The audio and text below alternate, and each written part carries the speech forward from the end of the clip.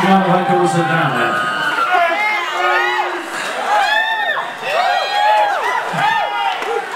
All right, for those of you who are old as me and Martin, this is your last chance to have a rest.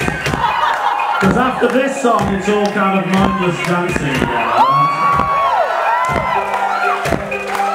This song is called Talking Loud and Clear.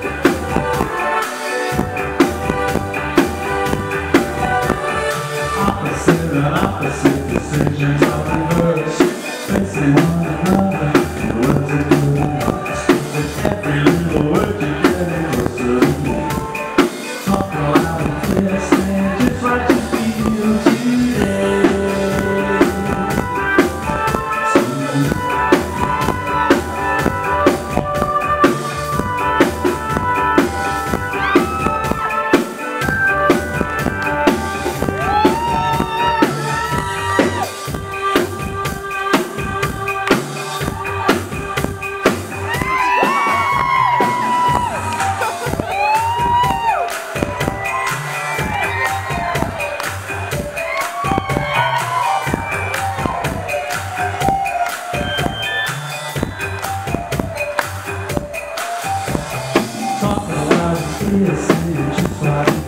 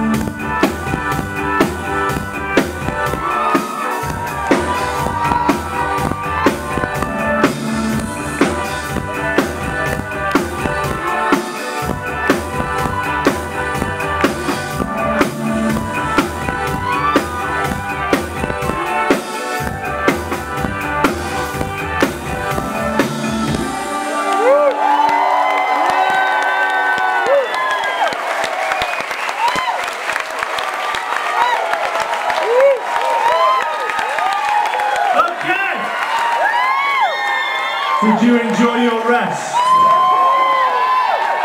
Are you ready to dance again? Seriously, it gets really hard now.